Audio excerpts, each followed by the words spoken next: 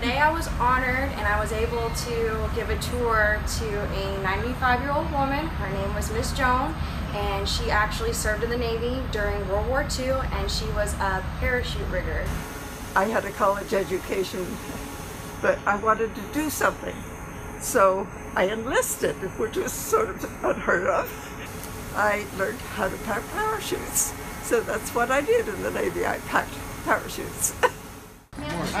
Howdy, Jake Douglas, Fritz Muller. During our tour, our captain Jake Douglas was uh, he met up with us and he was very eager to uh, meet Miss Joan and you know she had mentioned her what her rate was and he was like We both packed parachutes before. oh, you certainly have, sir. Isn't that a wonderful picture? yeah. Aren't you great? So now you can say you have something in common with the captain. Right. Yeah. kind of tiny. it is amazing to meet one of the ladies who were the first to join the armed forces and you know showing that women were are more capable than just staying at home that we can get down and dirty and we're smart enough to tackle any type of task and it was just amazing to meet her i feel i feel truly blessed that i got that opportunity I would expect women to serve. We're a lot more capable than people think.